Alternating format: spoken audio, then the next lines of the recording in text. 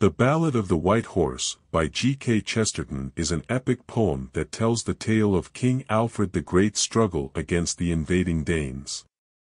This work is steeped in rich, lyrical language and serves as both a historical narrative and a meditation on themes of faith, heroism, and the clash of civilizations.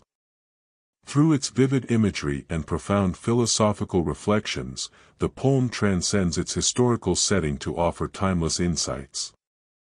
At its core, the poem is about the resilience and tenacity of the human spirit in the face of overwhelming odds. King Alfred, depicted not only as a warrior but as a man of deep faith and humility, embodies the struggle of a Christian kingdom under siege. His character is marked by a blend of idealism and realism, illustrating Chesterton's belief in the power of moral and spiritual conviction.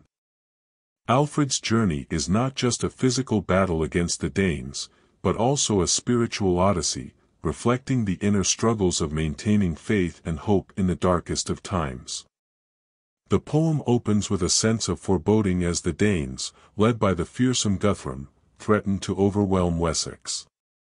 Chesterton vividly describes the chaos and despair of the English people, contrasting it with the grim determination of Alfred.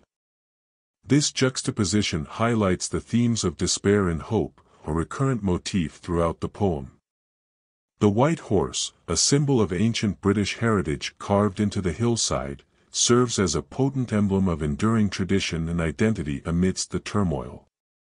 Chesterton's narrative style, rich with allegory and symbolism, invites readers to delve deeper into the underlying messages. The poem is not just a historical recount but a commentary on the cyclical nature of history and the eternal struggle between good and evil. The battles fought by Alfred are depicted not merely as physical conflicts but as metaphysical ones, with the Danes representing chaos and paganism, while Alfred and his followers embody order and Christian values.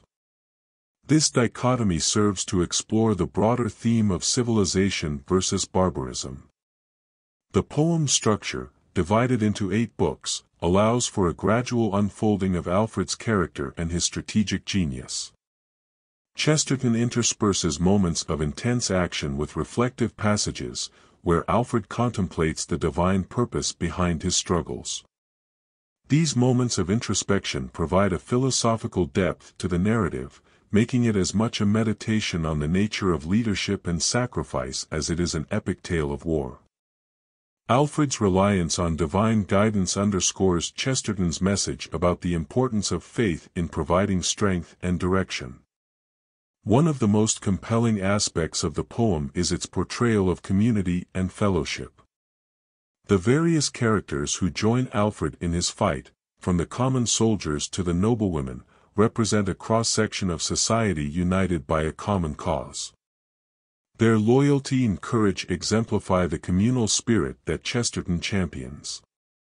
This unity in the face of adversity reinforces the idea that true strength lies not in individual heroics but in collective effort and shared purpose.